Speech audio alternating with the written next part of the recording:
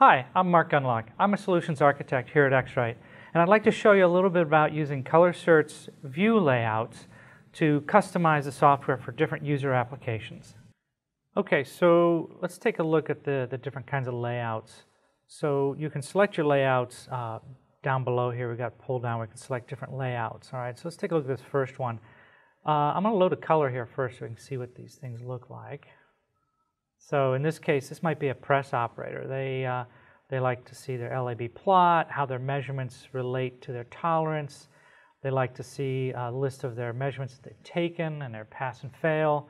Uh, and they might like, like this window open with the details because perhaps there's additional notes in here they need for production, or perhaps for additional measurements, uh, or as they take measurements, they may want to add notes to those, okay? So that works out really well for a press operator, perhaps. Maybe another press operator may like to see something actually very basic. So we've got perhaps just something as simple as this. One big LAB plot shows the measurements they've taken as well as a list of their trials with their pass-fail. Could be as simple as that.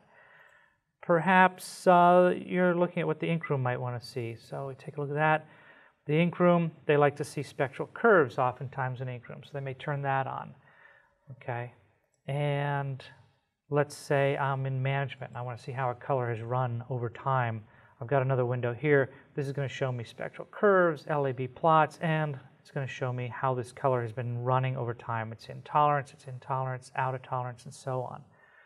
So um, lots of different kinds of view setups uh, that we can use here. Okay, so let's take a look at how you'll build uh, a custom layout here. So I'm going to click on this pull-down menu here, and you'll see that there's there's eight different window layouts we can we can arrange here. I've got a couple down here that just left as generic names here. Those are still configurable. I can actually reconfigure any of these, but these have never been configured. So let me start with this one here. And I can see my layout has placeholders for what we call widgets to go into each of these spots. Those are different ways to present data.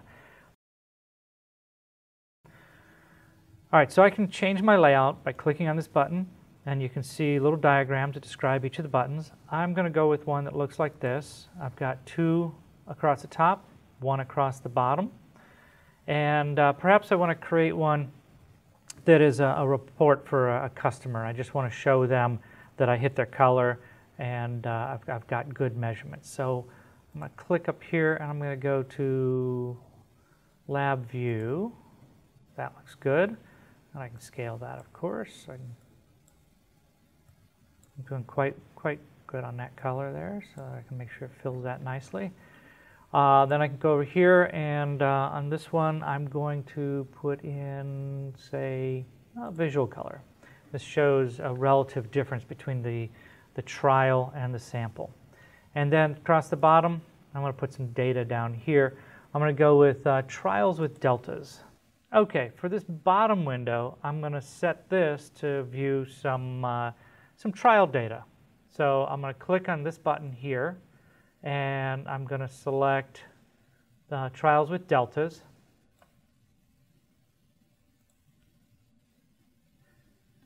And this will show a list of the, the last trials that I took within the date period that I selected up here. And I can see uh, how well the scores were, pass and fail, and so on. And with this, I can use the reporting function to create a PDF just by selecting reporting and screen print the PDF. It'll write a PDF that looks just like what we see on the screen and I can email that to a customer or to management or any other concerned uh, stakeholder. So lastly, uh, I don't want to leave this generic window name here, so I'm going to go to Edit Name, and I'm going to call this, give it a name that's meaningful to me and save that. And now that shows up in the list. So I've got a number of different ways that uh, I can change the desktop layout for different purposes, for different users, and I can just simply switch to uh, the layout that I need to use. All right, so there we've looked at uh, a lot of different ways you can rearrange the desktop to specifically uh, present data the way an operator may need it. An ink room operator needs to see different data than management, which needs to see different data than a press room operator. So we can, and some operators uh, at the press may like to see just different layouts. Uh, so you can customize that up to eight different windows within the software.